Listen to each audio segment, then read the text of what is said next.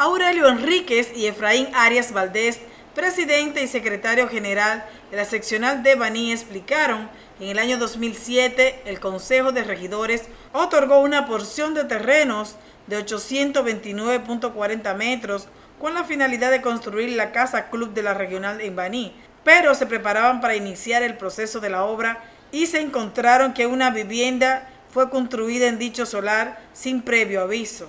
Y dice desconocer qué está pasando en este solar nuestro que lo tenemos con los planos, tenemos planos, tenemos el croquis, tenemos eh, la autorización de la sala capitular para la titularidad. Ha llenado de mucha preocupación el hecho de que el alcalde municipal de Baní, Santos Ramírez, no haya dado respuesta al requerimiento que se le hizo para que se aclarara la situación del solar de Salina de Puerto Hermoso, porque cuando fuimos a constatar encontramos que se lo habían asignado a otra persona. También demandaron la entrega de un apartamento a un periodista en Santiago, de lo contrario harán huelgas.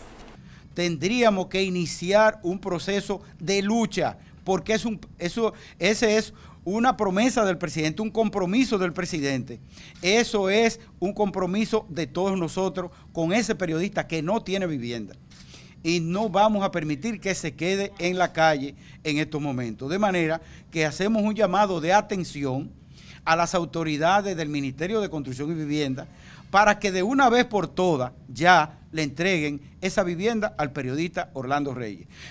El alcalde junto a sus funcionarios se comprometieron con los directivos nacional de la prensa a investigar la situación y dar respuestas en una o dos semanas y ha pasado más de un año y no han vuelto a tomar el teléfono en las múltiples llamadas realizadas ni ofrecieron ninguna solución al problema que afecta a los periodistas.